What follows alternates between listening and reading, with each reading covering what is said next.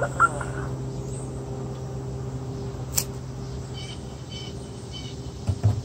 little bit of the stem. Got another one over here.